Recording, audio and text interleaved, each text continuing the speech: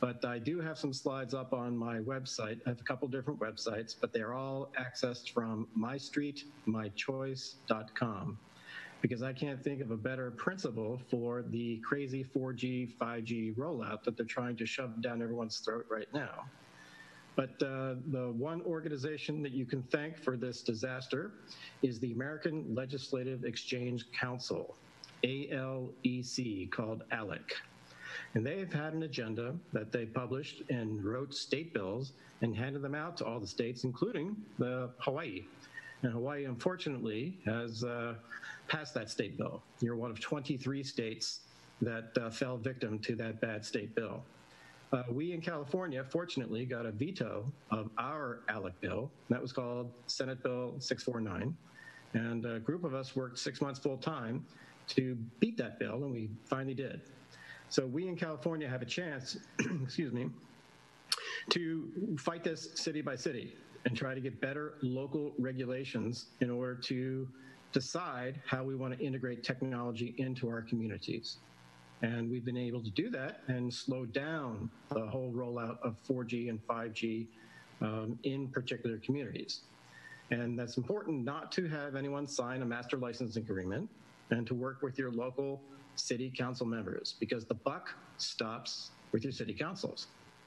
And what you really realize when you read the 1996 Telecommunications Act, it was uh, very carefully crafted to have a cooperative federalism. What does that mean? It means that the federal government is sharing with the states and the local communities the regulation duties and obligations.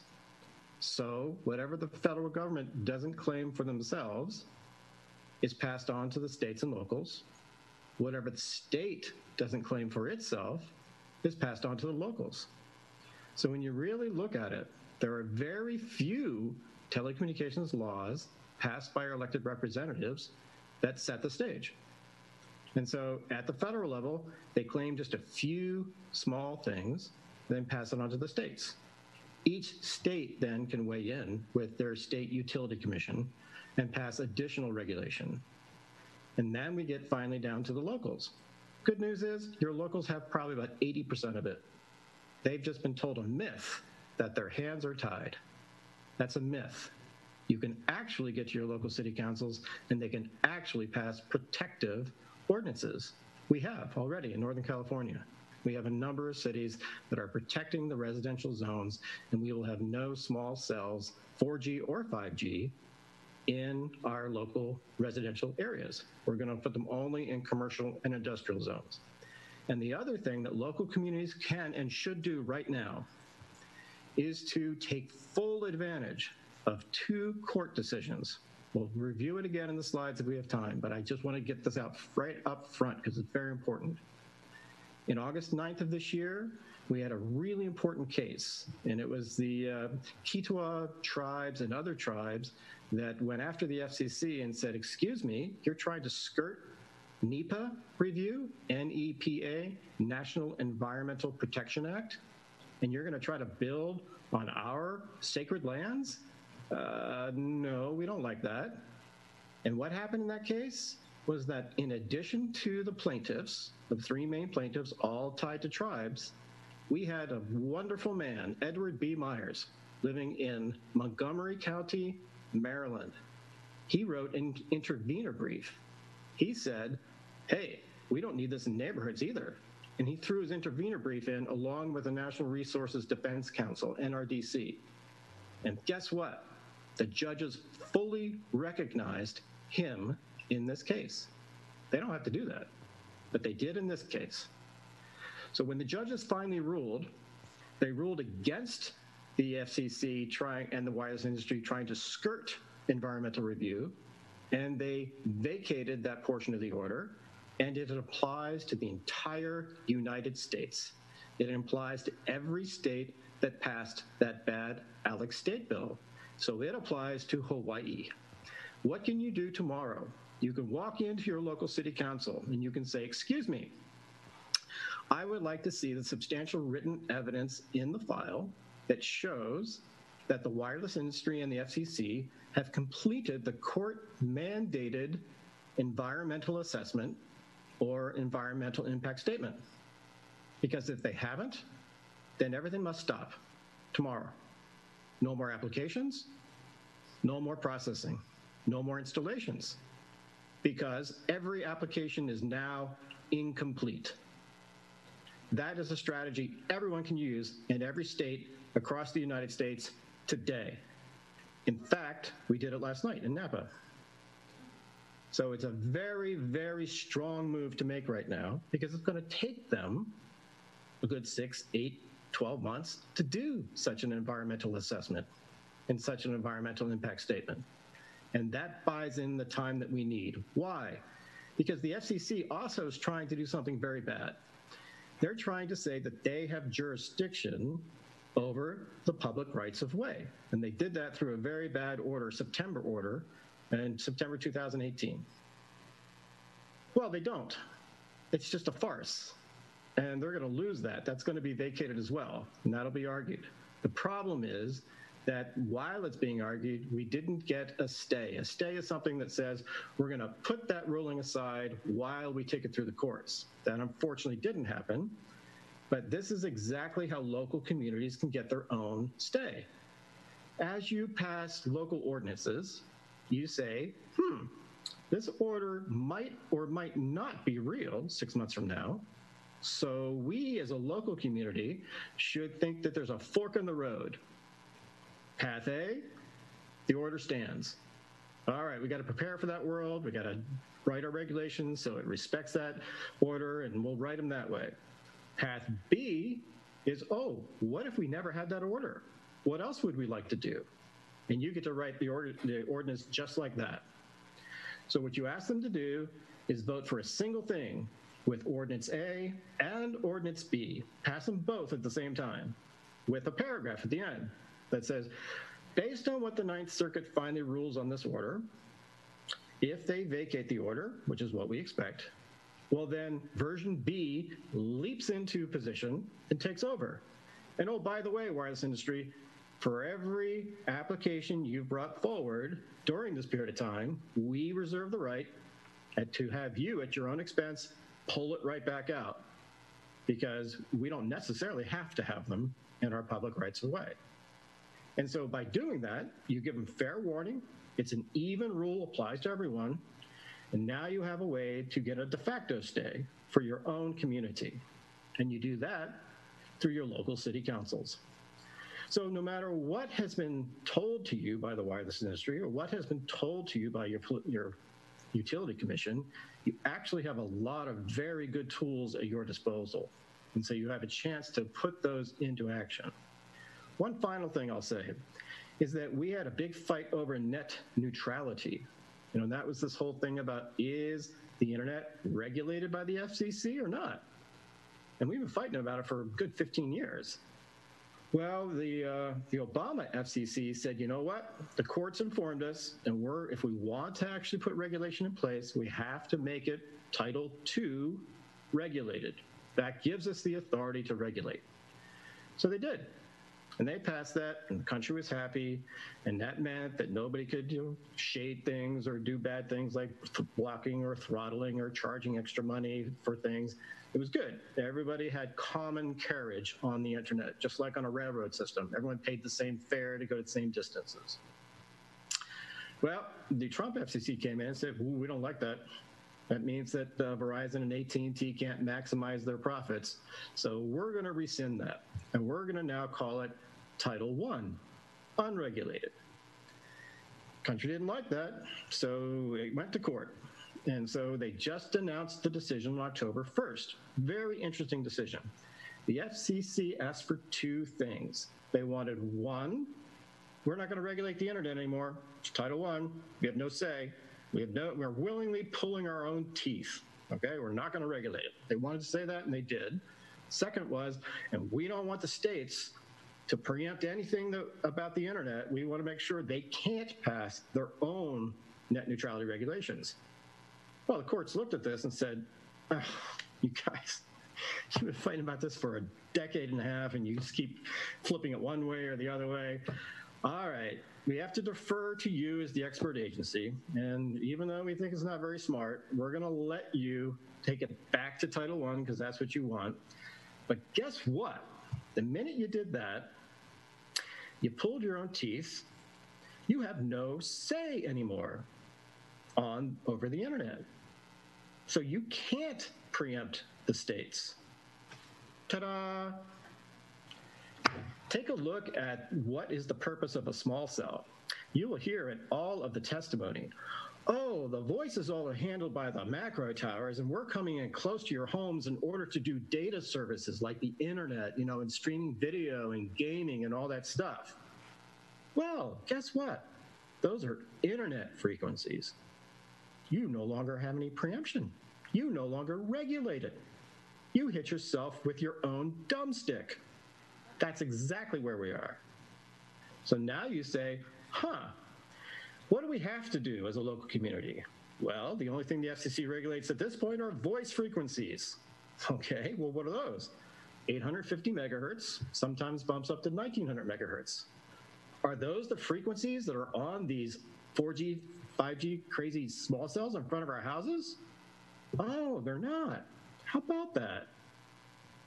Well, wireless company, tell you what, we're having to allow you to put in some um, small cells if you have a significant gap in coverage. At least that's true in the Ninth Circuit, of which Hawaii is. That's our decision from 2005. And hey, if you got a real gap, we recognize you have a right to put in something for a telecommunications voice call. That's all it's all about. It's all about 911 calls by voice. That's all they regulate. That's all they have preemption for. There is no preemption for video, internet, other ways of making money. Doesn't exist. They no longer regulate it. This was upheld on October 1st. So you say, cool. If you're going to come into the public rights of way, then we're going to ask you to do a couple of things. You're claiming you need to go down the block a thousand feet, something like that. Great. What's the minimum amount of power that will get that done? What's the least amount of power to do it? And what's the smallest antenna that will do that? Turns out it's not much power. The good news, we already have a model that will work. And it doesn't look at all like the antennas they're already putting up. Your local community can say, excuse me, instead of these big four foot tall antennas and boxes on the street that are 28 cubic feet the size of a refrigerator, yeah, we don't want those. We're not cool with that bring back a four inch antenna. And now give me a power supply the size of your hand. And when you plug that in, you're going to see that that will output from the face of the antenna right there, right at the shroud, right there at the pole, something that puts out 40 milliwatts of power. 40 milliwatts of power will go down the street half a mile. It'll give you five bars on a cell phone, and it will enable you to make a call. That's all your local community needs to do. It's just like taking, a, go to Best Buy, pick up a nice beefy wireless router for your house, carry it out to the pole, put it on top of the pole, plug in the little wall wart, boom. How far will that go down the street? Oh, look, about a quarter to a half a mile. How about that? That's all you need. That's all you need to do it. Is you say, we're a green city. We care about energy efficiency. We're not cool with putting big antennas that just blast away 24 hours a day and just putting all this effective radiated power all over the place. No, all we need to do is provide the ability to place a call. So when it comes to doing video and gaming and streaming, we're cool with a junction box at the bottom of the pole that gives all of the neighbors access to it so we can jack in our own fiber optic cables and get that directly to our homes. So once we have it in our home, now we have the consumer choice. We can say, I'm a wired house. I'm smart. I know I don't want a bunch of wires around me. And so I'm going to put it through my wired router and have Ethernet cables go everywhere, and I've got a nice, safe, clean home. I get that choice. I get that choice because I run my house that way. It's my house. Hey, if someone else wants to run a wireless router, that's their choice. That's very much like saying smoke inside your house. If you want to smoke inside your house, hey, you can do it. It's legal. It's not smart. You can do it. And you'll pollute the whole environment and hurt your kids and hurt your plants and your pets and all that stuff. But it's your choice. It's a consumer choice. Well, that's the same choice you make when you run a wireless router. If you want to run one, you can. You can smoke 24 hours a day if you want, or you can turn it off at night when you go to bed because nobody needs it then. That saves a lot of exposure until you eventually decide that it's not so cool to hurt my children and hurt my pets and hurt my plants just by having a wireless router. So maybe eventually you'll get rid of it. But that is your choice. That's very different than saying, well, what we have here in Hawaii is when you move into this neighborhood, you're going to have to have a small cell in front of your house, and it's going to be pumping toxic smoke into your house 24 hours a day. That's what it's like when you live in our neighborhood. And we're going to force that to happen because you don't have any choice. That's just the way it is. Well, you would never design a community that way. And there's no reason why you have to accept a community like that.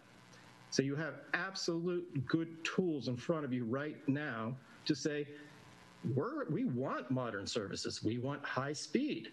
But what we want, we want data that's big data, that's called video files and internet. We want that by fiber optic. And small data, stuff that's for an emergency call, like when you break down on the road and you got to make a quick call, we're cool with that being wireless. And so we're going to get the right mix of wired and wireless. And we shouldn't allow the wireless company to hoard the fiber optic cables. Why is that? It's in the public conduit. All of that fiber optic that has been existing there for years and years and years, it's public property. It should not be misappropriated by the wireless industry for their own private uses.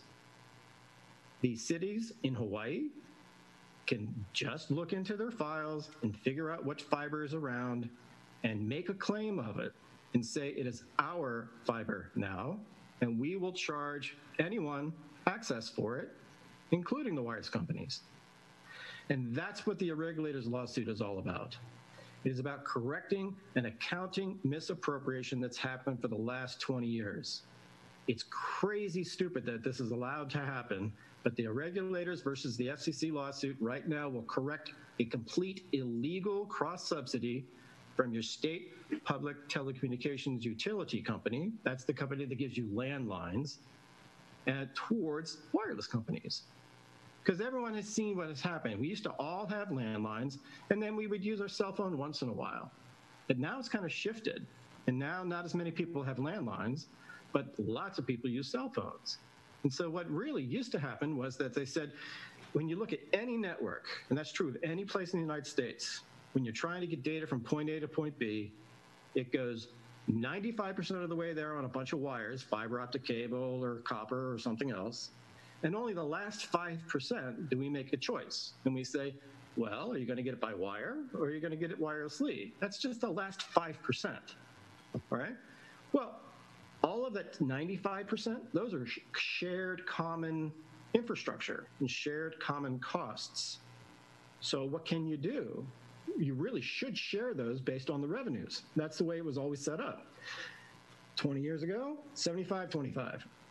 20 years ago, 75% of the revenues for landlines, 25% were for cell phones. So they split the costs that way 75% to the landline and 25% to the cell phone guys. Got it. Now it's kind of shifted the other way. So now it's uh, 75% of the revenues are wireless and only 25% are in landlines. But what does the FCC allow the costs to be?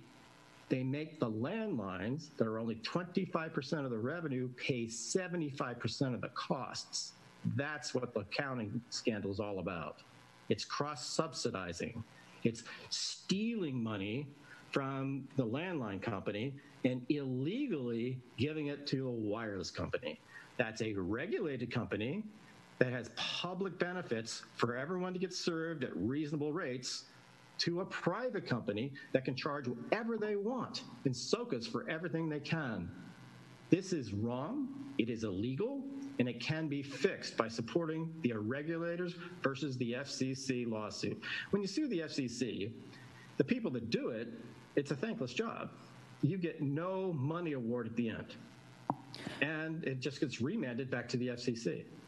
These people have dipped into their own pockets to make this lawsuit happen. The attorney, Scott McCollough, put in $50,000 of his own time to write it. It's 317 pages. It's excellent. It's in the chute. It's been accepted by the DC Circuit Court of Appeals. These people need support, and we need to actually donate to them. Um,